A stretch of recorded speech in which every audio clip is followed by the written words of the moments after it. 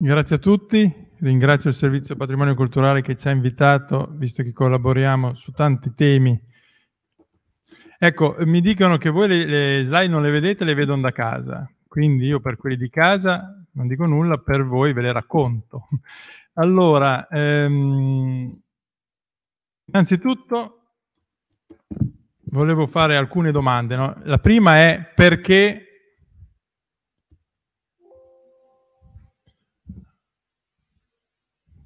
Arrivo, eh. Ci vuole.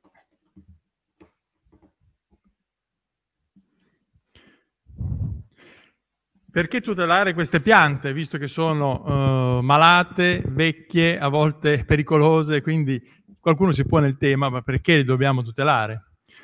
Allora, eh, sui temi paesaggistici, qui ci sarebbe l'immagine di un albero tipo quello del manifesto, ehm, dove si vede quest'albero in un prato e questo è un valore paesaggistico innegabile perché è evidente che un prato senza quell'albero lì sarebbe un banale prato, invece con quell'albero lì c'è un valore aggiunto. Ma sul tema del paesaggio io mi fermo qui perché sono altri relatori che tratteranno il tema. Volevo farvi vedere il cipresso, ma è noto il cipresso di Verrucchio di San Francesco, l'albero più vecchio che abbiamo, 800 anni pare, Ecco, questo è un albero che ha un valore storico, culturale, religioso innegabile, cioè è, è, un albero, un pezzo unico, voglio dire, non possiamo toglierlo e sostituirlo con un albero qualunque preso al garden. Eh, questo è un albero unico che va tenuto su in tutti i modi, tant'è che è puntellato con dei, dei pali, eh, proprio perché ha un valore storico unico, finché dura, teniamocelo da conto. Poi c'è il valore naturalistico, su questo mi soffermo un secondo in più. Qui ci sarebbe l'immagine di un albero eh, monumentale in un bosco e io mi ricordo quando facevo eh, anni, tanti anni fa scienze forestali, ci dicevano all'università che si chiama, queste sono piante lupo, no? con un concetto negativo dell'albero, cioè piante che ormai non crescono più, piante quindi che hanno un incremento diametrico limitato, a volte anzi delle due calano come volume, quindi dal punto di vista puramente produttivo sono alberi inutili, sono alberi che occupano uno spazio nel bosco, ma che alla fine, se si tolgono e si fanno crescere degli alberi giovani, dal punto di vista produttivo di chi eh, quantifica in euro il valore di un bosco, è chiaro che hanno un valore eh, negativo, nel senso che andrebbero tolti e sostituiti con alberi giovani, perché l'albero giovane cresce di più, eh, ha un incremento maggiore ogni 10-15 anni posso fare un camion di legna, mentre se c'è quest'albero qua, vecchio, vetusto, e ehm, che però ha delle dimensioni tali per cui occupa molto spazio, eh, non produce nulla. Ecco, questo concetto di albero lupo, che poteva andare bene quando studiavo io, adesso direi che è superato, dovrebbe essere superato, purtroppo non lo è, per cui la, il concetto di albero monumentale nel bosco è fondamentale, cioè questi sono alberi che hanno un ruolo eh, non solo storico, perché magari lì c'erano delle attività dei pastori o dei, dei servicoltori di, di tanti anni fa. Qui c'è un'immagine in cui si si vedono tutti gli animali che abitano questi alberi, cioè questi sono alberi popolati da micromammiferi, uccelli, funghi, eccetera, cioè c'è un ecosistema in questi alberi che negli alberi giovani, eh, diciamo eh, in piena salute, non possono vivere. Quindi la perdita di uno di questi alberi monumentali è una perdita per l'ecosistema. Quindi vanno tenuti eh, e poi questi hanno un vantaggio grosso, cioè non sono pericolosi, perché non essendo in una strada, in una piazza, se anche hanno un ramo secco che casca, non, non succede nulla, quindi no, hanno meno costi di gestione.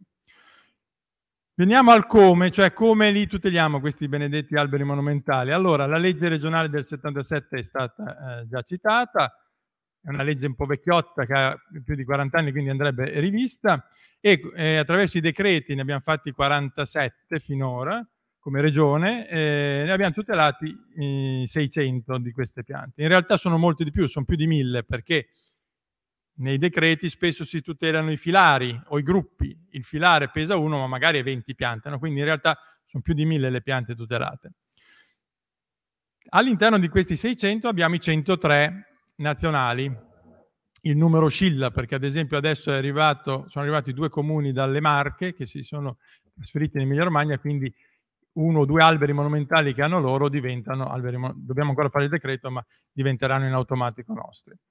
Poi c'è tutto il tema della tutela del vincolo paesaggistico e del, del decreto legislativo 42 del 2004 che anche lì aggiunge tutela soprattutto per gli alberi nei parchi e nelle ville storiche. Quindi noi abbiamo un certo gruppo di alberi da, uh, da gestire.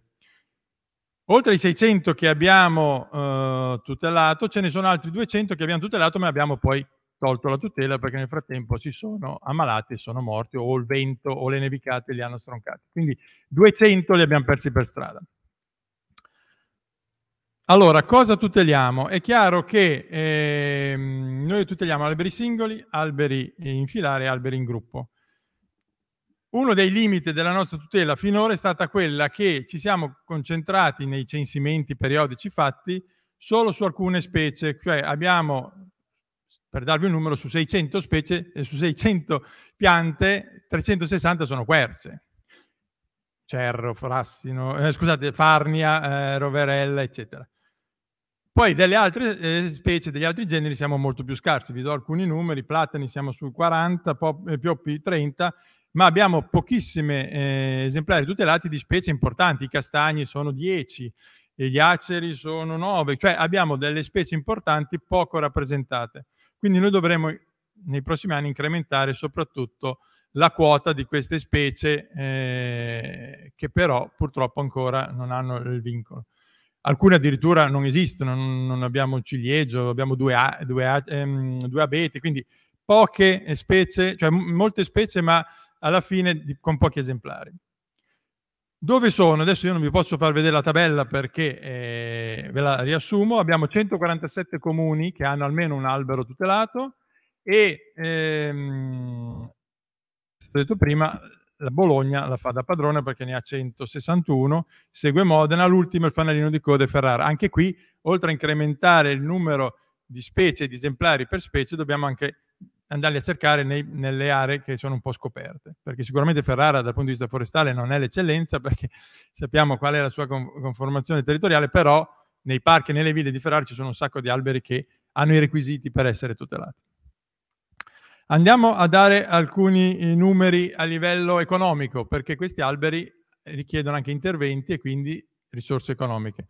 Noi abbiamo fatto un bando nel 2021 con 254 mila euro, 54 mila euro ce li ha messi il Ministero, 200 la Regione e eh, con questo bando abbiamo ricevuto domande per più di 400 mila euro, dovremo fare una graduatoria, una selezione e alla fine finanziare i progetti più urgenti e più meritevoli. Cosa paghiamo con questi fondi?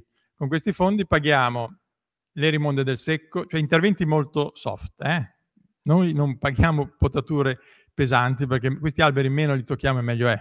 Se interveniamo è un motivo di pura sicurezza, cioè lo facciamo per noi, non per l'albero. L'albero non, meno ci vede meglio sta. Però eh, siccome l'uomo a volte, soprattutto se sono in centri urbani, vive e attraversa quelle aree lì, è chiaro che dobbiamo mettere in sicurezza. Per mettere in sicurezza o uh, facciamo delle mini potature, rimonda del secco o dei consolidamenti come quello che non ho fatto vedere di, del, del cipresso di San Francesco.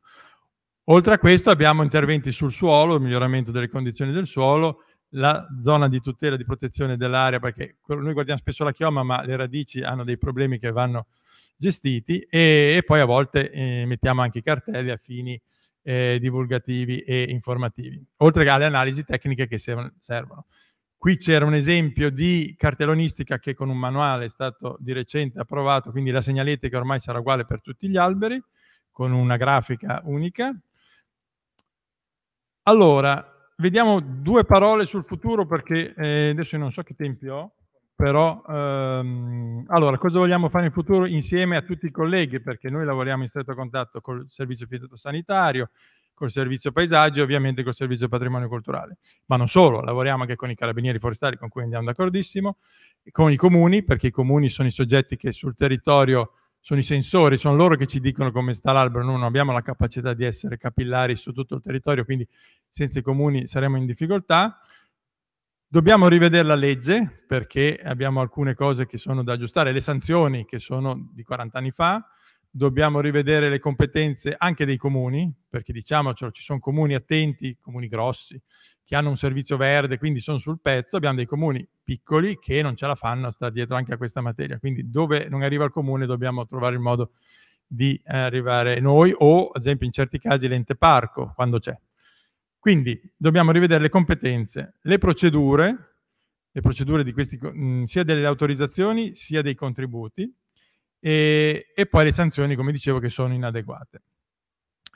Quindi, da un lato dobbiamo avere la garanzia di nuove risorse perché ogni anno dobbiamo fare un bando per dare dei soldi per quando c'è bisogno. Dobbiamo anche differenziare il modo di dare questi contributi perché un conto è fare un bando a settembre 2021 per gli interventi 2022 con una programmazione. Però da qui a quando faremo gli interventi 2022 passa un anno, quindi ci può essere una nevicata, un temporale, una tromba d'aria, qualcosa che ci mette in crisi altri alberi che non sono oggetto del finanziamento. Quindi noi dov dobbiamo trovare il sistema di finanziare anche queste emergenze qua, non solo quelli, quelli programmabili, ma quelle che vengono tra un bando e l'altro, eh, dobbiamo gestire anche quell'interregno lì. Poi dobbiamo controllare di più, perché purtroppo assistiamo a volte a interventi non autorizzati, potature pesanti che poi mettono in crisi tutto la, eh, lo sviluppo di queste piante, quindi dobbiamo trovare un meccanismo per cui alla fine, prima di toccare l'albero, c'è un permesso di qualcuno, che sia del comune, della regione, però ci vuole un'autorizzazione specifica. E dobbiamo soprattutto migliorare la professionalità delle imprese, cioè spesso il proprietario o il comune si avvale di figure tecniche normali, il giardiniere piuttosto che la cooperativa, piuttosto che la ditta del, del, del paese. No, eh, in questi casi bisogna avere del, persona, del, personale specializzato perché queste piante non si possono gestire come le altre piante. Hanno delle, mh, mm, diciamo, delle delicatezze e delle peculiarità per cui alla fine se non c'è l'esperto andiamo a fare anche dei danni. Quindi oltre a spendere dei soldi fare dei danni non mi sembra il massimo. Quindi prima di toccarli ci vuole qualcuno che ne sa. E poi avviare un, un nuovo censimento perché abbiamo detto che su certe fronti a livello di province e a livello anche di specie siamo scoperti. Poi abbiamo in mente di sistemare un po' la banca dati perché alcuni eh, dati della banca dati eh, sono da aggiornare e eh, con una georeferenziazione tale per cui il cittadino possa anche consultarla ma implementandola anche con tutta una serie di informazioni che adesso ci sono, ma non per tutti gli aspetti storici, guardo i colleghi del patrimonio culturale, eh, vanno eh, implementati perché ovviamente questi alberi hanno una storia, eh, alcune conosciute, alcune da scoprire e se non facciamo in fretta rischiamo che la memoria popolare di, quel, di quella zona lì sparisca perché chi ha assistito a certi avvenimenti avrà già 70-80 anni, quindi bisogna cercare di, di eh, ehm, catturare queste informazioni storiche eh, prima che eh, le perdiamo per sempre. Quindi un, una maggiore attenzione sugli aspetti culturali, oltre che ovviamente quelli eh, botanici, delle dimensioni e, e dello stato di salute. E poi ovviamente rafforzare la collaborazione fra gli enti, perché siamo in tanti, i comuni, la regione, i vari servizi della regione, i carabinieri forestali, i parchi, bisogna che ci coordiniamo eh, perché siamo tutti sul pezzo, ma non dobbiamo né sovrapporci né avere dei, dei, vuoti. Quindi il pacchetto delle cose da fare è chiaro, il più è farlo perché eh, poi questa attività non è l'unica che svolgiamo e quindi ci lavoriamo ma non a tempo pieno. Io volevo farvi vedere alcune immagini che però le vedranno quelli di casa, sono alcuni dei, degli, degli, esemplari più rappresentativi, qui c'è il platano di Carpinello, abbiamo il filare di tigli di Zola Predosa e altri eh, esemplari che ehm, fanno capire come questi sono alberi, sono dei pezzi unici, cioè non li possiamo né comprare, né spostare, né costruire, chi ce l'ha se lo tiene e chi non ce l'ha non ce l'ha.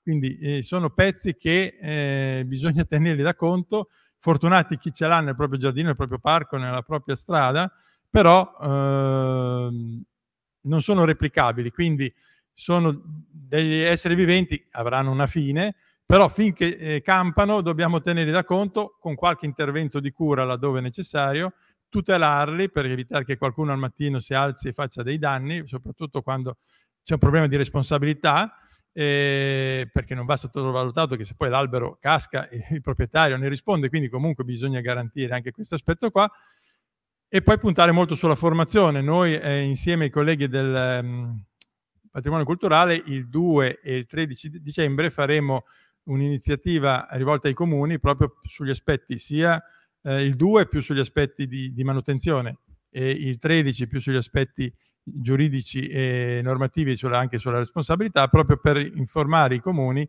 eh, di, di, tutte le novità e di quello che bisogna conoscere per tutelarli al meglio.